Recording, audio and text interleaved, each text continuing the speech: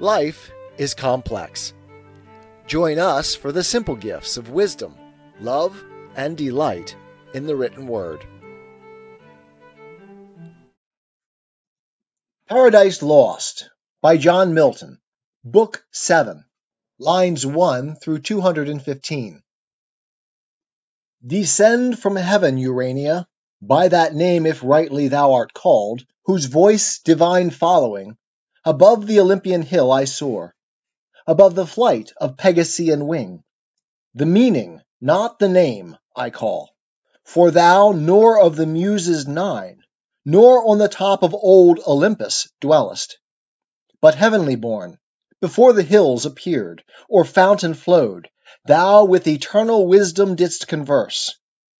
Wisdom thy sister, and with her didst play in presence of the Almighty Father, pleased with thy celestial song. Up led by thee into the heaven of heavens I have presumed, an earthly guest, and drawn empyreal air, thy tempering.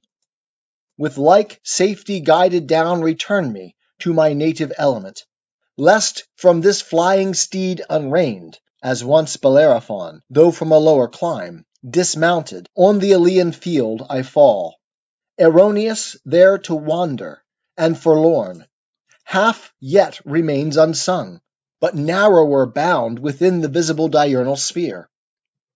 Standing on earth, not wrapt above the pole, more safe I sing with mortal voice, unchanged to hoarse or mute, though fallen on evil days, on evil days though fallen, and evil tongues in darkness and with dangers compassed round, and solitude.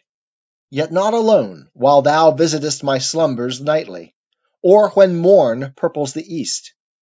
Still govern thou my song, Urania, and fit audience find, though few. But drive far off the barbarous dissonance of Bacchus and his revellers, the race of that wild rout that tore the Thracian bard in Rhodope, where woods and rocks had ears to rapture, till the savage clamour drowned both harp voice. Nor could the Muse defend her son. So fail not thou, who thee implores, for thou art heavenly, she an empty dream. Say, goddess, what ensued when Raphael, the affable archangel, had forewarned Adam by dire example, to beware apostasy, by what befell in heaven to those apostates, lest the like befall in paradise to Adam or his race, charged not to touch the interdicted tree, if they transgress, and slight that sole command, so easily obeyed amid the choice of all tastes else to please their appetite, though wandering.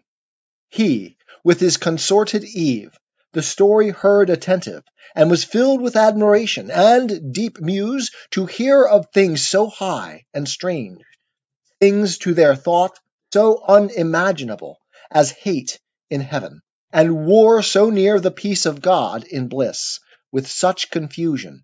But the evil, soon driven back, redounded as a flood on those from whom it sprung, impossible to mix with blessedness whence Adam soon repealed the doubts that in his heart arose, and now, led on, yet sinless, with desire to know what nearer might concern him, how this world of heaven and earth conspicuous first began, when and whereof created, for what cause, what within Eden or without was done before his memory, as one whose drought yet scarce allayed still eyes the current stream, whose liquid murmur heard, new thirst excites, proceeded thus to ask his heavenly guest.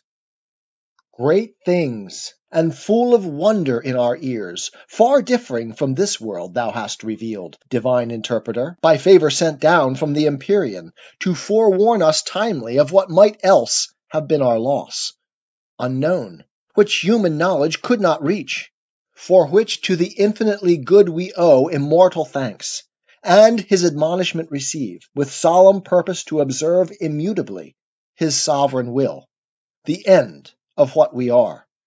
But since thou hast vouchsafed gently for our instruction to impart things above earthly thought, which yet concerned our knowing, as to highest wisdom seemed, deign to descend now lower, and relate what may no less perhaps avail us known, how first began this heaven, which we behold distant so high, with moving fires adorned innumerable, and this which yields or fills all space, the ambient air wide interfused embracing round this florid earth.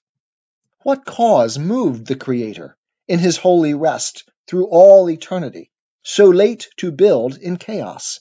And the work begun, how soon absolved?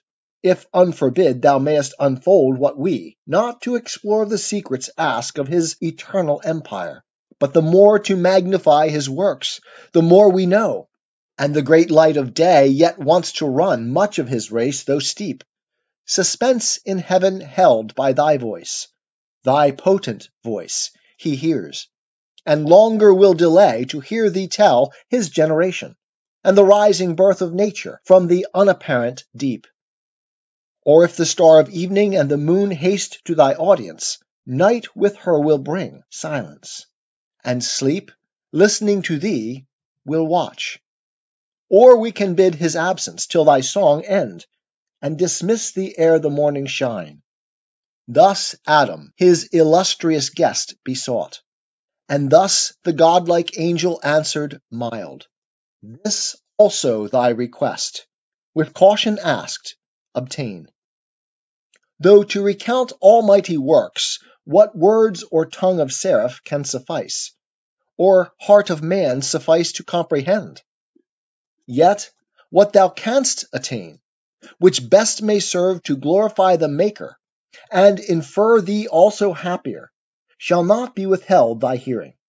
Such commission from above I have received, to answer thy desire of knowledge within bounds. Beyond, abstain to ask. Nor let thine own inventions hope things not revealed, which the invisible King, only omniscient, suppressed in night, to none communicable in earth or heaven.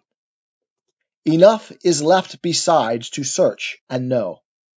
But knowledge is as food, and needs no less her temperance over appetite, to know in measure what the mind may well contain, oppresses else with surfeit, and soon turns wisdom to folly, as nourishment to wind.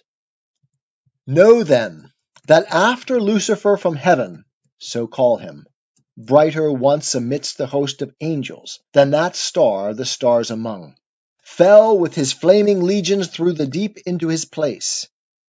The great Son returned victorious with his saints. The omnipotent eternal Father from his throne beheld their multitude, and to his Son thus spake At least our envious foe hath failed who thought all like himself rebellious, by whose aid this inaccessible high strength, the seat of Deity supreme, us dispossessed, he trusted to have seized, and into fraud drew many, whom their place knows here no more.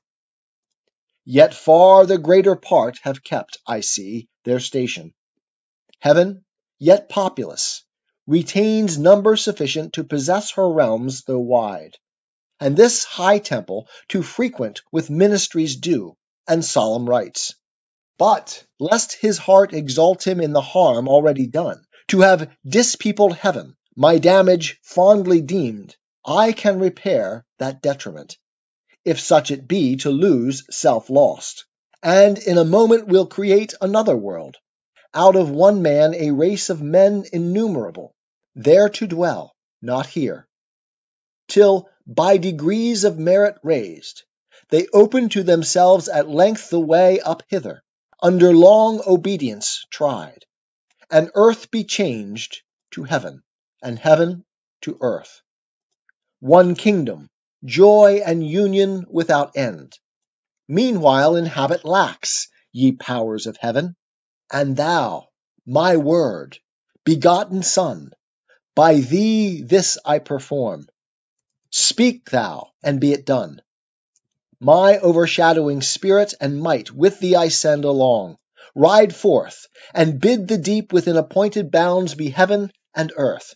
Boundless the deep, because I am who fill infinitude, nor vacuous the space. Though I, uncircumscribed myself, retire, and put not forth my goodness, which is free to act or not. Necessity and chance approach not me, and what I will is fate. So spake the Almighty, and what he spake, his word, the filial Godhead, gave effect.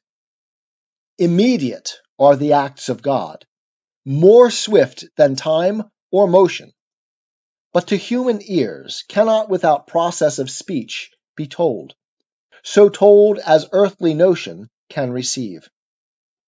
Great triumph and rejoicing was in heaven, when such was heard declared the Almighty's will.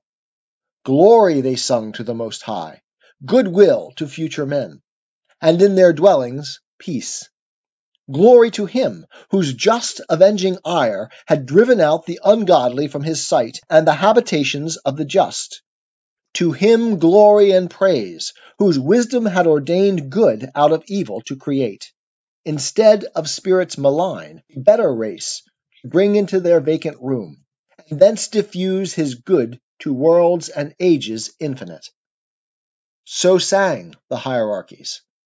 Meanwhile the Son, on his great expedition, now appeared, girt with omnipotence, with radiance crowned of majesty divine, sapience and love immense, and all his Father in him shone.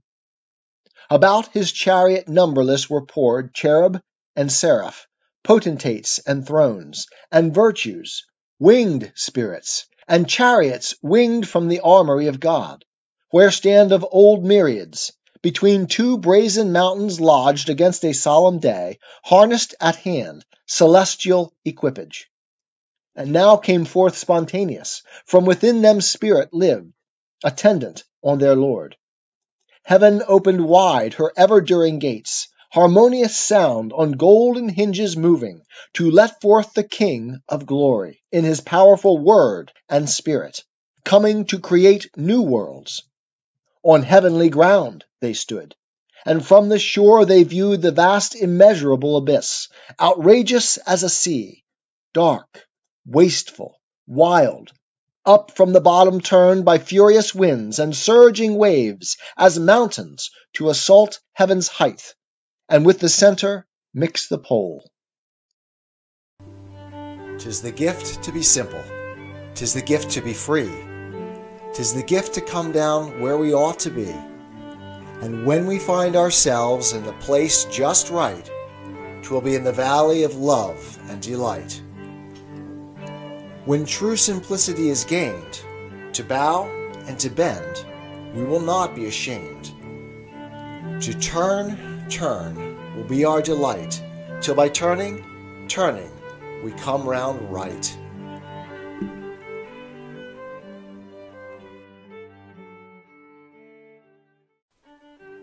Life is complex. Join us for the simple gifts of wisdom, love, and delight in the written word. John Milton, Paradise Lost, Book 7, lines 216 through 448. God the Son, the eternal Word, continues the act of creation. Silence, ye troubled waves, and thou deep, peace, said the omnific word, Your discord end. Nor stayed, but on the wings of cherubim uplifted, in paternal glory rode far into chaos, and the world unborn. For chaos heard his voice. Him all his train followed in bright procession, to behold creation and the wonders of his might. Then stayed the fervid wheels, and in his hand he took the golden compasses, prepared in God's eternal store, to circumscribe this universe and all created things. One foot he centered, and the other turned round through the vast profundity obscure, and said, Thus far extend, thus far thy bounds. This be thy just circumference, O world. Thus God the heaven created, thus the earth, matter unformed and void. Darkness profound covered the abyss, but on the watery calm his brooding wings the Spirit of God outspread, and vital virtue infused, and vital warmth throughout the fluid mass but downward purged the black tartareous cold infernal dregs, adverse to life. Then founded, then conglobed like things to like, the rest to several place disparted, and between spun out the air, and earth self-balanced on her centre hung. Let there be light, said God, and forthwith light ethereal, first of things, quintessence pure, sprung from the deep, and from her native east to journey through the airy gloom began, sphered in a radiant cloud, for yet the sun was not. She in a cloudy tabernacle sojourned the while. God saw the light was good, and light from darkness by the hemisphere divided, light the day, and darkness night he named. Thus was the first day even and morn, nor passed uncelebrated, nor unsung by the celestial choirs, when orient light, exhaling first from darkness, they beheld. Birthday of heaven and earth. With joy and shout the hollow universal orb they filled, and touched their golden harps, and hymning praised God and his works. Creator hymn they sung, both when first evening was, and when first morn. Again, God said, Let there be firmament amid the waters, and let it divide the waters from the waters. And God made the firmament, expanse of liquid pure, transparent, elemental air, diffused in circuit to the uttermost convex of this great round, partition firm and sure. The waters underneath from those above dividing. For as earth, so he the world built on circumfluous waters calm, in wide crystalline ocean, and the loud misrule of chaos far removed, lest fierce extremes contiguous might distemper the whole frame. And heaven he named the firmament. So even and morning chorus sung the second day. The earth was formed, but in the womb as yet of waters, embryon immature involved, appeared not.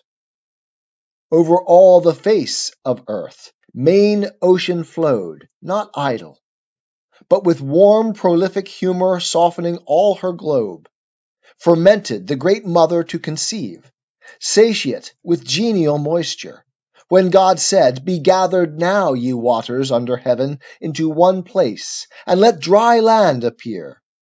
Immediately the mountains huge appear emergent, and their broad bare backs upheave into the clouds. Their tops ascend the sky, so high as heaved the tumid hills, so low down sunk a hollow bottom broad and deep, capacious bed of waters.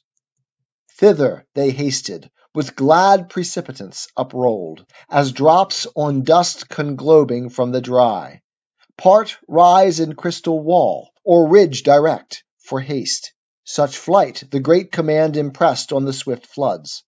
As armies at the call of trumpet, for of armies thou hast heard, troop to their standard.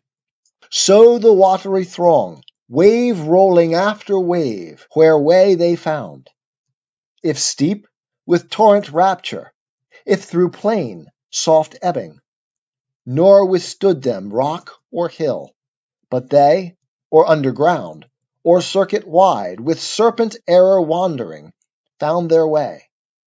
And on the washy ooze deep channels wore, easy, ere God had bid the ground be dry, all but within those banks where rivers now stream, and perpetual draw their humid train, the dry land, earth, and the great receptacle of congregated waters he called seas, and saw that it was good, and said, Let the earth put forth the verdant grass, herb yielding seed, and fruit tree yielding fruit after her kind, whose seed is in herself upon the earth. He scarce had said, when the bare earth, till then desert and bare, unsightly, unadorned, brought forth the tender grass, whose verdure clad her universal face with pleasant green. Then herbs of every leaf, that sudden flowered, opening their various colors, and made gay her bosom, smelling sweet. And, these scarce blown, forth flourished thick the clustering vine, Forth crept the swelling gourd, upstood the corny reed embattled in her field, and the humble shrub, and bush with frizzled hair implicit. Last rose, as in dance, the stately trees, and spread their branches hung with copious fruit, or gemmed their blossoms. With high woods the hills were crowned, with tufts the valley, and each fountain side with borders long the rivers. That earth now seemed like to heaven, a seat where gods might dwell, or wander with delight, and love to haunt her sacred shades. Though God had yet not rained upon the earth, and man to till the ground none was, but from the earth a dewy mist went up, and watered all the ground, and each plant of the field, which, ere it was in the earth, God made and every herb before it grew on the green stem. God saw that it was good. So even and morn recorded the third day. Again the Almighty spake, Let there be lights high in the expanse of heaven, to divide the day from night, and let them be for signs, for seasons, and for days and circling years. And let them be for lights, as I ordain their office in the firmament of heaven, to give light on the earth. And it was so. And God made two great lights, great for their use to man, the greater to have rule by day, the less by night altern, and made the stars, and set them in the firmament of heaven to illuminate the earth, and rule the day in their vicissitude, and rule the night, and light from darkness to divide. God saw, surveying his great work, that it was good. For of celestial bodies first the sun, a mighty sphere he framed, unlightsome first, though of ethereal mould. Then formed the moon globose, and every magnitude of stars, and sowed with stars the heaven, thick as a field. Of light by far the greater part he took, transplanted from her cloudy shrine, and placed in the sun's orb, made porous to receive and drink the liquid light. Firm to retain her gathered beams, great palace now of light. Hither, as to their fountain, other stars repairing in their golden urns draw light, and hence the morning planet gilds her horns. By tincture or reflection they augment their small peculiar, though from human sight so far remote, with diminution seen. First in his east the glorious lamp was seen, regent of day, and all the horizon round invested with bright rays, jocund to run his longitude through heaven's high road. The grey dawn and the Pleiades before him danced, shedding sweet influence. Less bright the moon, but opposite in levelled west was set, his mirror, with full face borrowing her light from him. For other light she needed none in that aspect, and still that distance keeps till night.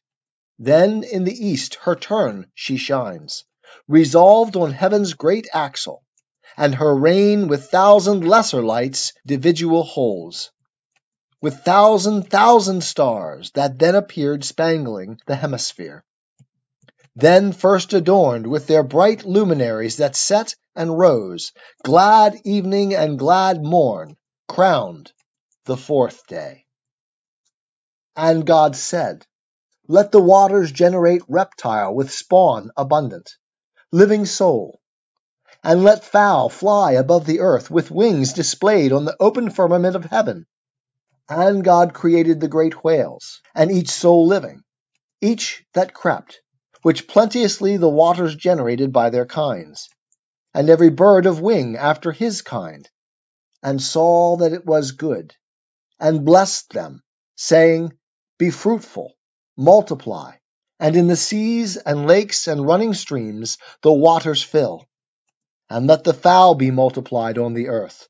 Forthwith the sounds and seas, each creek and bay, with fry innumerable swarm, and shoals of fish that with their fins and shining scales glide under the green wave in sculls that oft bank the mid-sea, part single, or with mate, graze the seaweed their pasture, and through groves of coral stray, or, sporting with quick glance, show to the sun their waved coats dropped with gold, or in their pearly shells at ease attend moist nutriment, or under rocks their food in jointed armor watch. On smooth the seal and bended dolphins play, part huge of bulk wallowing unwieldy, enormous in their gait. Tempest the ocean, there Leviathan, hugest of living creatures, on the deep stretched, like a promontory sleeps or swims, and seems a moving land, and at his gills draws in and at his trunk spouts out a sea. Meanwhile, the tepid caves and fens and shores, their brood as numerous hatch from the egg that soon bursting with kindly rupture forth disclosed their callow young. But feathered soon in fledge, they summed their pens, and, soaring the air sublime, with clang despised the ground, under a cloud in prospect. There the eagle and the stork on cliffs and cedar tops their eyries build. Part loosely wing the region, part more wise in common, ranged in figure, wedge their way, intelligent of seasons, and set forth their airy caravan, high over seas flying, and over lands, with mutual wing easing their flight. So steers the prudent crane her annual voyage, borne on winds, the air floats as they pass, fanned with unnumbered plumes. From branch to branch the smaller birds with song solace the woods, and spread their painted wings till even. Nor then the solemn nightingale ceased warbling, but all night tuned her soft lays. Others, on silver lakes and rivers, bathed their downy breast. The swan with arched neck, between her white wings mantling proudly, rose her state with oary feet. Yet oft they quit the dank, and rising on stiff pennons, tower the mid-aerial sky. Others on ground walked firm, the crested cock, whose clarion sounds the silent hours, and the other whose gay train adorns him, colored with the florid hue of rainbows and starry eyes. The waters thus with fish replenished, and the air with fowl, Evening and morn solemnized the fifth day. Tis the gift to be simple. Tis the gift to be free. Tis the gift to come down where we ought to be. And when we find ourselves in the place just right, twill be in the valley of love and delight.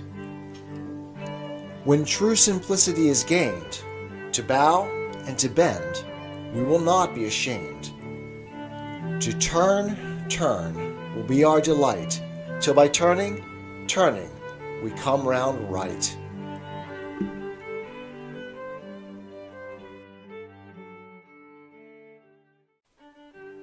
Life is complex.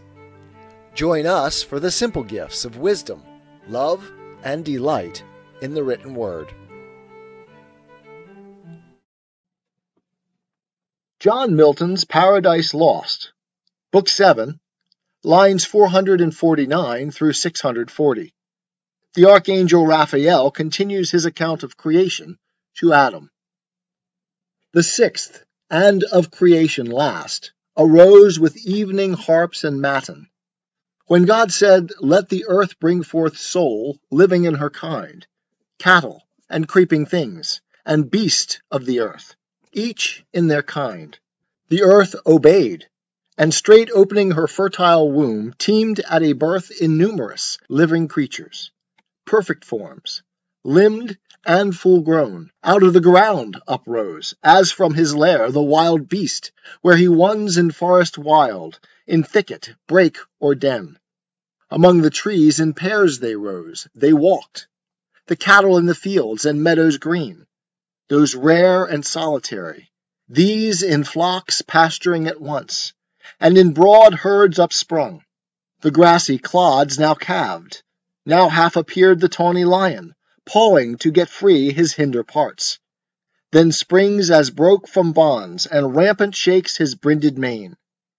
The ounce, the libbard, and the tiger, as the mole rising, the crumbled earth above them threw in hillocks. The swift stag from underground bore up his branching head.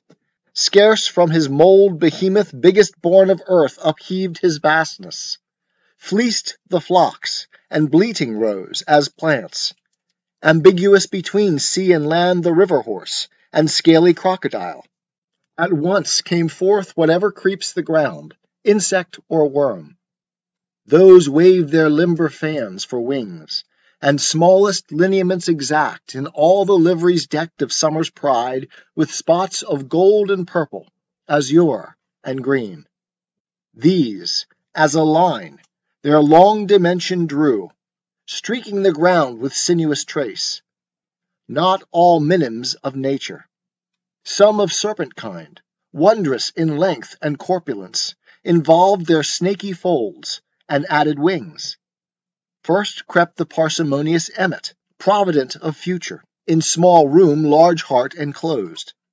Pattern of just equality, perhaps hereafter, joined in her popular tribes of commonalty, Swarming next appeared the female bee, that feeds her husband drone deliciously, and builds her waxen cells with honey stored. The rest are numberless, and thou their natures knowest, and gavest them names, needless to thee repeated. Nor unknown the serpent, subtlest beast of all the field, of huge extent sometimes, with brazen eyes and hairy mane terrific, though to thee not noxious but obedient at thy call. Now heaven in all her glory shone, and rolled her motions, as the great first mover's hand first wheeled their course. Earth in her rich attire, consummate lovely smiled. Air, water, earth, by fowl, fish, beast was flown, was swarm, was walked frequent. And of the sixth day yet remained, there wanted yet the master work, the end of all yet done. A creature who, not prone and brute as other creatures, but endued with sanctity of reason, might erect his stature, and upright, with front serene, govern the rest, self knowing, and from thence magnanimous, to correspond with heaven. But grateful to acknowledge whence his good descends, thither with heart and voice and eyes directed in devotion, to adore and worship God supreme, who made him chief of all his works. Therefore the omnipotent eternal Father, for where is not he present, thus to his Son audibly spake, Let us make now man in our image, man in our similitude, and let them rule over the fish, and fowl, of sea and air, beast of the field, and over all the earth, and every creeping thing that creeps the ground. This said, he formed thee, Adam, thee, O man, dust of the ground, and in thy nostrils breathed the breath of life. In his own image he created thee, in the image of God express. And thou becamest a living soul, Male he created thee, but thy consort female, for race. Then blessed mankind, and said, Be fruitful, multiply, and fill the earth. Subdue it, and throughout dominion hold over fish of the sea, and fowl of the air, and every living thing that moves on the earth. Wherever thus created, for no place is yet distinct by name, Thence, as thou knowest, he brought thee into this delicious grove, this garden planted with the trees of God, delectable both to behold and taste. and freely all their pleasant fruit for food gave thee. All sorts are here that all the earth yields, variety without end. But of the tree which, tasted, works knowledge of good and evil, thou mayest not. In the day thou eatest, thou diest. Death is the penalty imposed. Beware, and govern well thy appetite, lest sin surprise thee, and her black attendant death. Here finished he, and all that he had made viewed, and behold, all was entirely good. So even and morn accomplished the sixth day, yet not till the Creator from his work desisting, though unwearied, up returned, up to the heaven of heavens, his high abode. Thence to behold this new created world, the addition of his empire, how it showed in prospect from his throne, how good, how fair, answering his great idea. Up he rode, followed with acclamation, and the sound symphonious of ten thousand harps that tuned angelic harmonies. The earth, the air resounded. Thou rememberest, for thou heardst. The heavens and all the constellations rung. The planets in their station listening stood, while the bright pomp ascended jubilant. Open, ye everlasting gates, they sung. Open, ye heavens, your living doors, let in the great Creator from his work returned magnificent, his six days' work, a world. Open, and henceforth oft, for God will deign to visit oft the dwellings of just men, delighted, and with frequent intercourse thither will send his winged messengers on errands of supernal grace. So sung the glorious train ascending. He through heaven that opened wide her blazing portals led to God's eternal house direct the way. A broad an ample road, whose dust is gold and pavement stars, as stars to thee appear, seen in the galaxy, that Milky Way, which nightly as a circling zone thou seest powdered with stars. And now on earth the seventh evening arose in Eden. For the sun was set, and twilight from the east came on, forerunning night. When at the holy mount of heaven's high-seated top, the imperial throne of Godhead, fixed forever firm and sure, the filial power arrived and sat him down with his great Father. For he also went invisible, yet stayed such privilege hath omnipresence, and the work ordained, author and end of all things. And from work now resting, blessed and hallowed the seventh day, as resting on that day from all his work, but not in silence wholly kept. The harp had work and rested not, the solemn pipe and dulcimer, all organs of sweet stop, all sounds on fret, by string or golden wire tempered soft tunings, intermixed with voice choral or unison, of incense clouds, fuming from golden censers, hid the mount. Creation and the six days' acts they sung. Great are thy works, Jehovah, infinite thy power. What thought can measure thee, or tongue relate thee? Greater now in thy return than from the giant angels. Thee that day thy thunders magnified. But to create is greater than created to destroy. Who can impair thee, mighty king, or bound thy empire?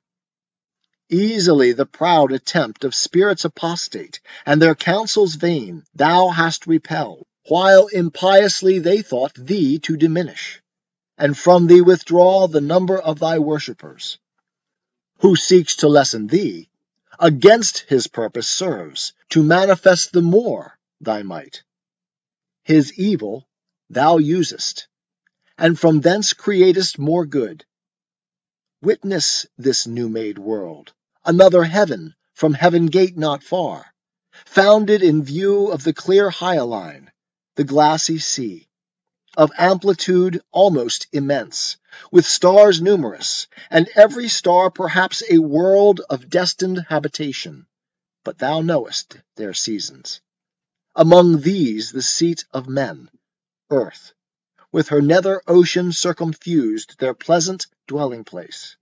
Thrice happy men, and sons of men, whom God hath thus advanced, created in his image, there to dwell and worship him, and in reward to rule over his works on earth, in sea, or air, and multiply a race of worshippers, holy and just.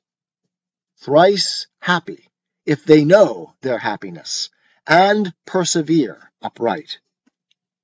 So sung they, and the Empyrean rung with hallelujahs. Thus was Sabbath kept. And thy request think now fulfilled, that asked how first this world and face of things began, and what before thy memory was done from the beginning, that posterity, informed by thee, might know.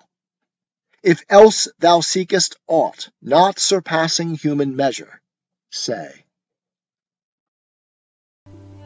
Tis the gift to be simple. Tis the gift to be free. Tis the gift to come down where we ought to be. And when we find ourselves in the place just right, twill be in the valley of love and delight. When true simplicity is gained, to bow and to bend, we will not be ashamed. To turn, turn will be our delight, till by turning, turning, we come round right.